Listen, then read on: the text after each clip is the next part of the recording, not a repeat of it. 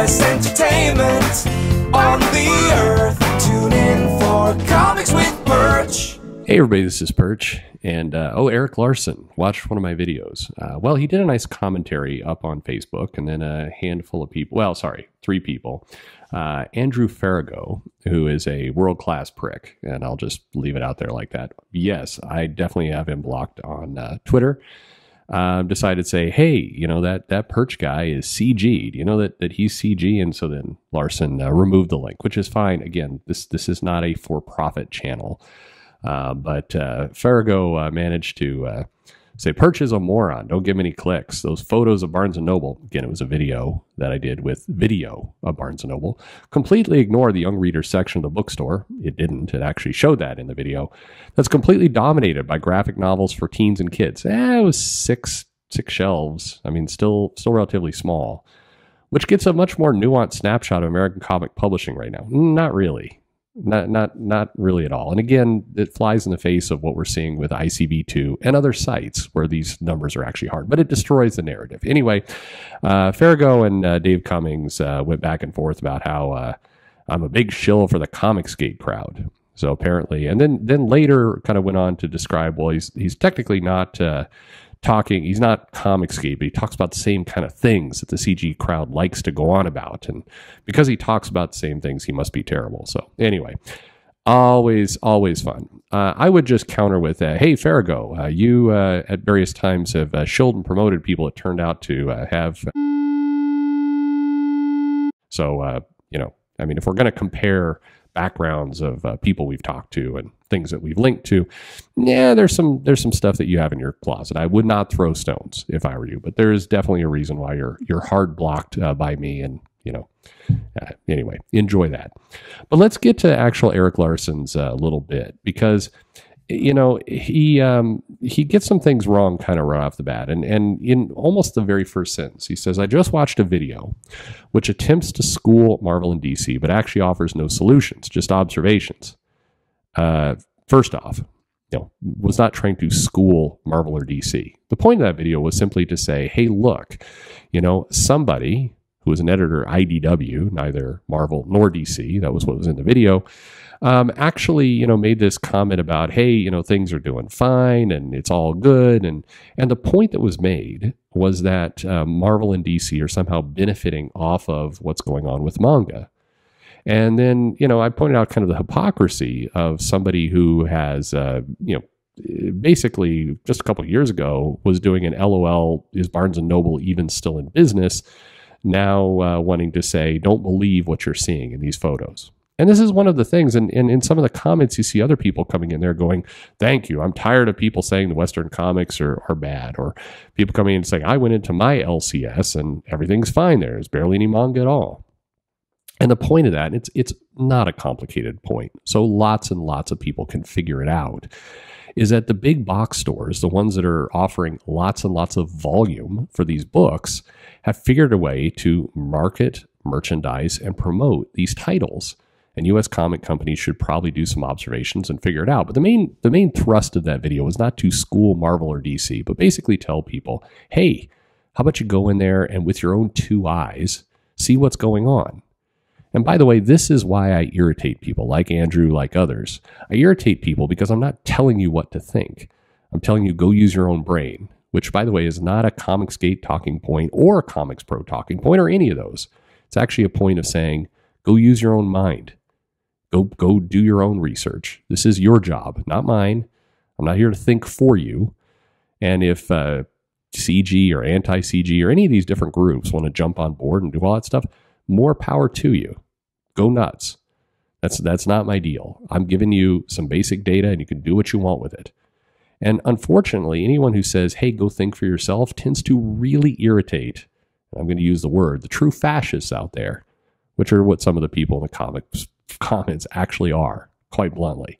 If you're the one who says, you know, don't listen to something because they might sound like something else, yeah, you're the fascist. Just, just you know, by definition.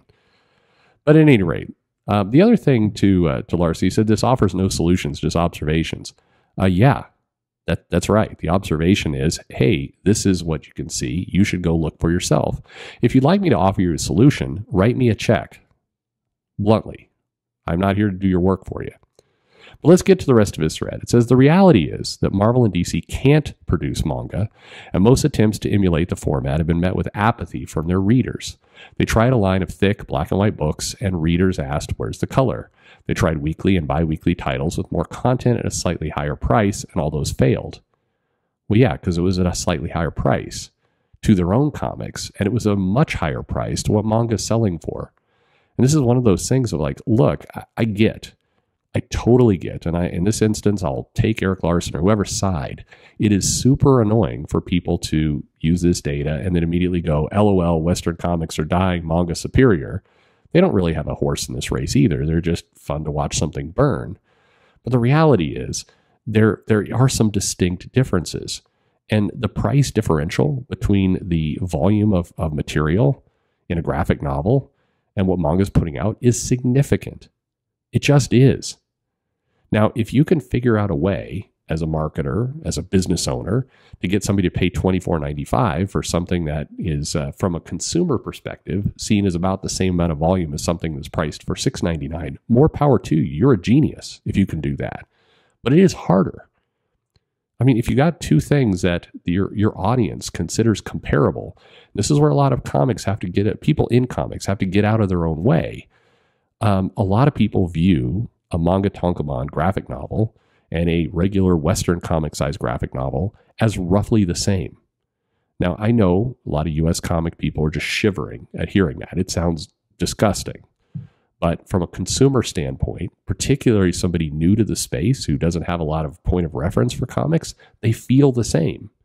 And if one's six bucks and one's 24 bucks, I, that's a big price hurdle to overcome. You've got to really bring some some some value to try and convince somebody to do it.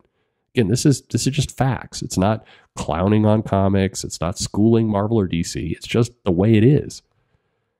Anyway, Larsen continues says readers don't want to pay the higher price for books featuring second string characters. okay, fine. Oh, you know, one one argument I might put out is that when you reboot your characters over and over and over, they all start to feel like second string characters. But that's neither here nor there says, granted, they never went all in. That's true. But there seems to be precious little crossover. I disagree, again, as a retailer. If you like manga, it's unlikely you're going to sample Spider Man. And readers of Spider Man, for the most part, aren't reading manga. Hmm. Again, I think things like the Deadpool manga, things like other crossover books prove that to not be true. And it does fly in the face of what's going on with YA. Some of the YA books, be it Primer over at DC or some of the other successes DC has had with YA, suggest that there is a crossover. And I can tell you, just watching consumer behavior, you, it can happen. But you can't cross over to a product that feels massively different.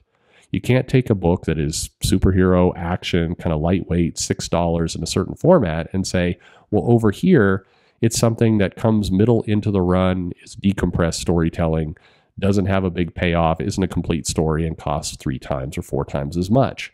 Those aren't the same product anymore. In that regard, I agree with with Larsen. They're different products, but you know, if you want to play in that space, you're going to need to figure out how to make them comparable. And my argument, I guess, is that Marvel and DC and Image need to figure out how to play in that space. I mean, I'm sorry, but quite frankly, some of this stuff just sounds like whining. Like, man, it's hard. We tried and we couldn't figure it out. It's hard. Try harder. Bluntly, try harder. I'm I'm sorry if that's tough love, hurts to to hear, but but try a little harder. You know, I, right now, comics is a very generational thing.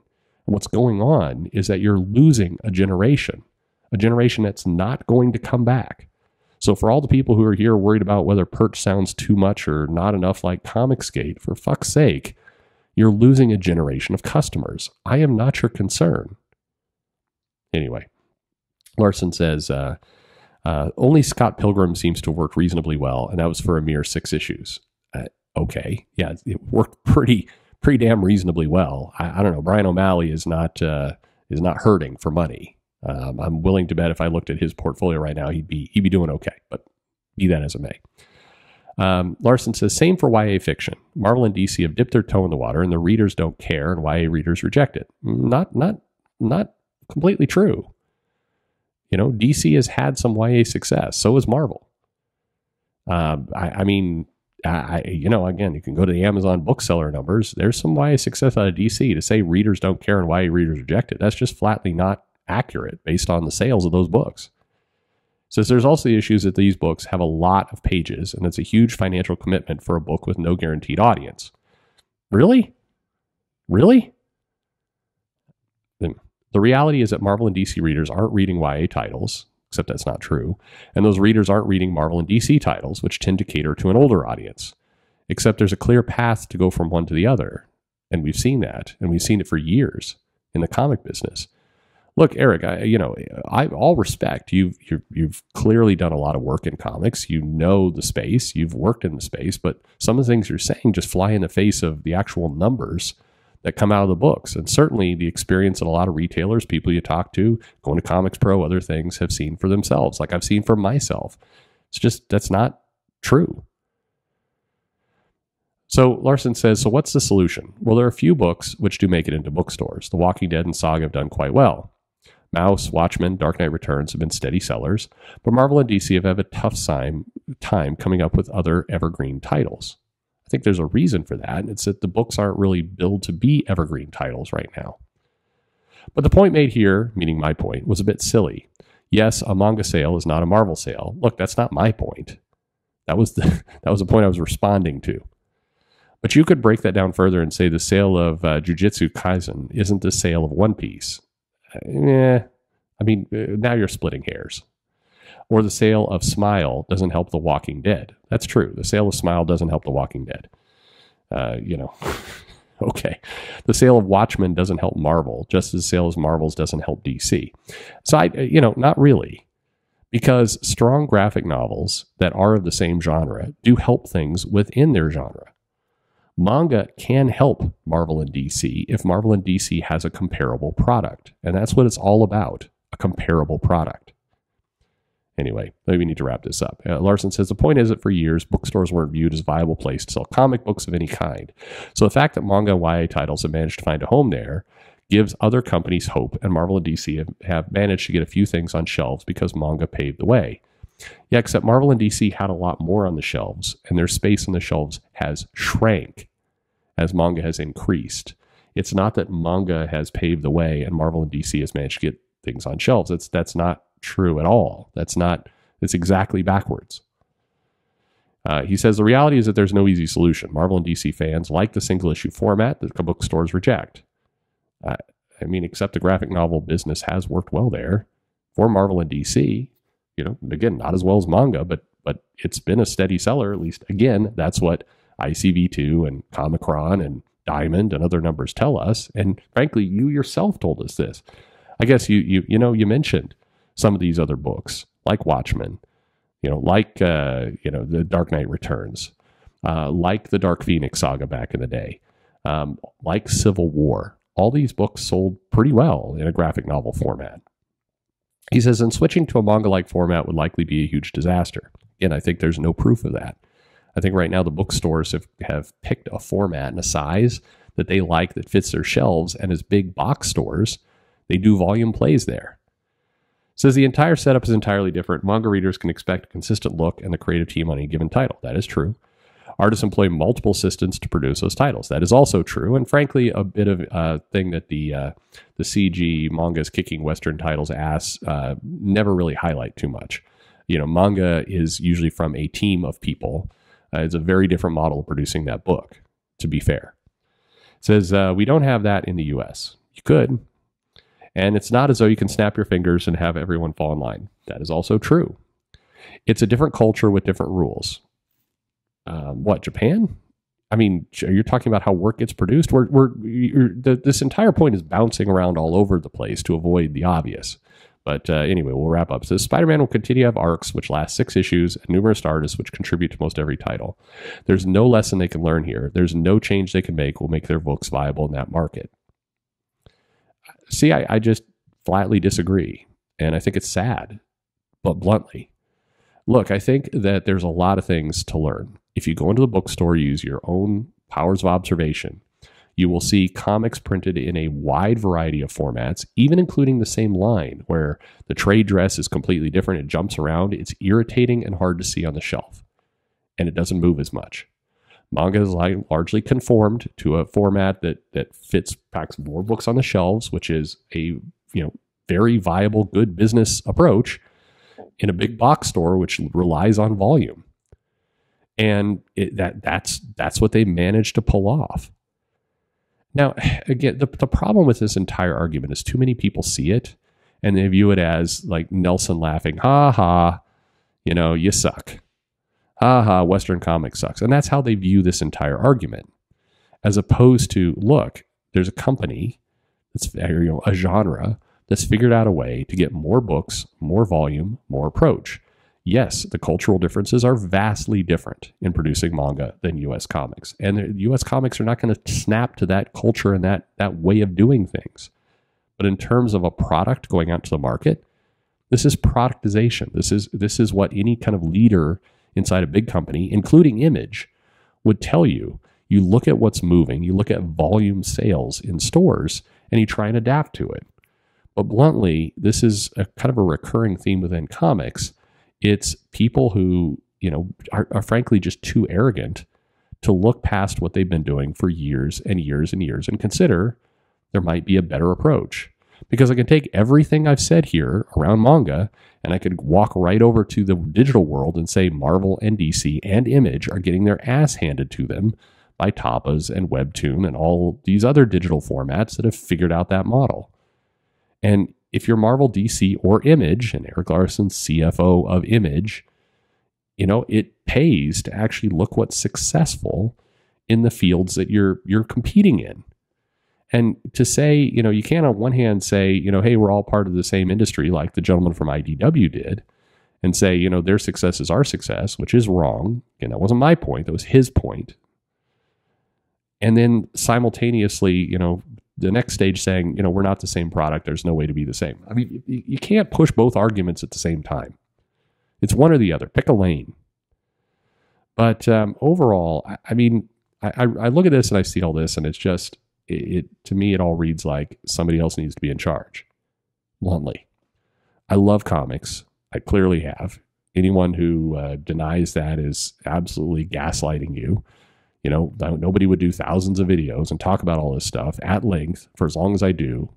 Just like the the dumbass who says, you know, oh, he's clearly CG. Oh, fuck off. You know, this is just a way to avoid actually dealing with the argument at hand. And the thing is, and it's what a lot of people, including, by the way, a lot of people from CG like to crap all over me for. I have hope that this stuff can be turned around because in many cases, the problems you're seeing are easy problems to solve. They are.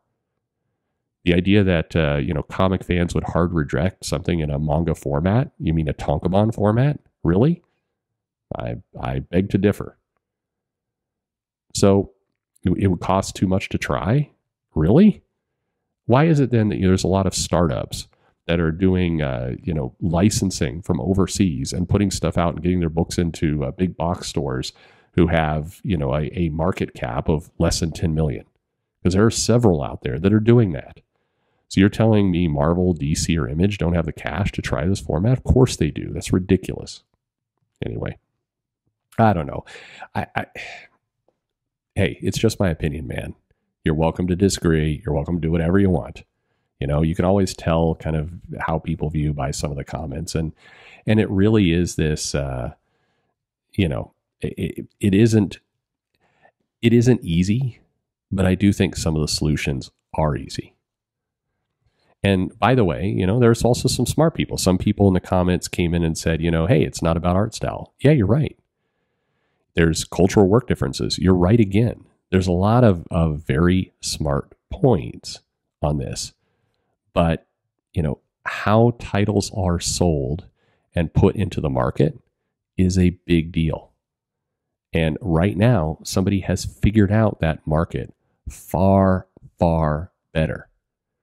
Now, you can continue to say, well, there's nothing that could be learned there. I can't I can't possibly figure it out.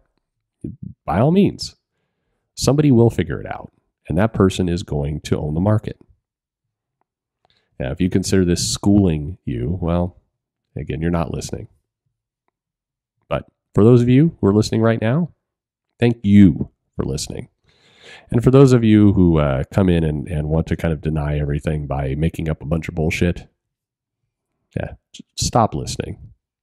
You're, you're not needed.